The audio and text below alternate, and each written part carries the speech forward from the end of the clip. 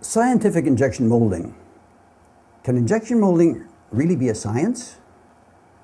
The answer is yes, if it follows the same physical laws as all other materials. Let me take you back to an earlier time when this kind of research was being done. In the 1960s, Kodak had to mold to very close uh, precision a particular film cartridge. And they decided to do a study on the effect of each machine control on the properties of the part, primarily dimensions. In this study, they would measure the results of changing 15 molding machine variables, 15 controls, and determine, in this case, dimensional properties. They would change injection pressures and holding pressures and times, temperatures, and at the end, they expected to find out what machine controls they could use to control the dimensions.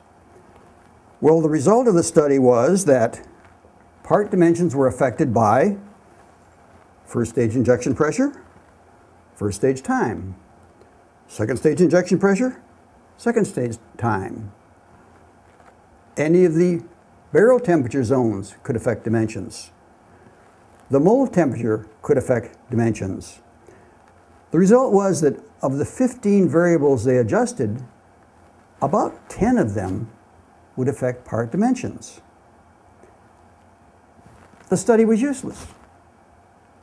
They didn't know how the dimensions were being affected, by what. At around the same time, I was hired by General Motors to set up a training program and a research laboratory. And the purpose was, like the Kodak study, find out what control properties, what part dimensions were affected by what machine variables. I had set up machines with instruments on it, uh, molds with instruments, but I still didn't know how to proceed. I too was going to try to measure the effects of 15 variables. I was talking to a vice president in General Motors and told him of this dilemma, actually of the complication. 15 controls I was going to change, I was going to find out which ones affected part properties. He kind of shook his head and said he had never seen a process, no matter how complicated, that had more than four independent variables. He said, look for the four variables. Well, I decided that if plastics follow physical laws, they must be buried in the equations.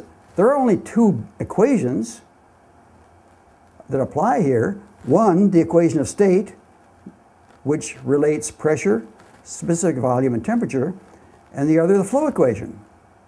In those two equations, there are four variables, four basic variables. The pressure, the temperature, the flow rate, and the cooling rate. Those must be the variables that affect molded part properties. Over a period of about three years, my students and I did tests, various machine controls, measure the properties of parts to see if those were the basic variables that affected any of the part properties we could measure. And they were. Now, in this study, I had one very good student who did an excellent job helping prove this theory, and it was Rod Groleau. You know that name if you are familiar with RJG Associates. Well, the theory was proved.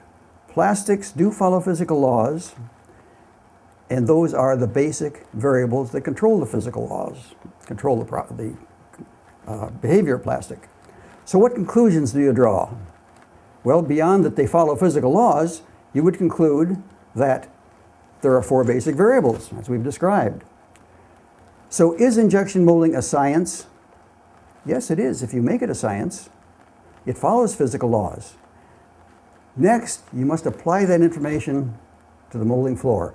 There are not four knobs on the molding machine labeled pressure, temperature, flow, and cooling. Instead, there are the, today the 15 or 20 control adjustments.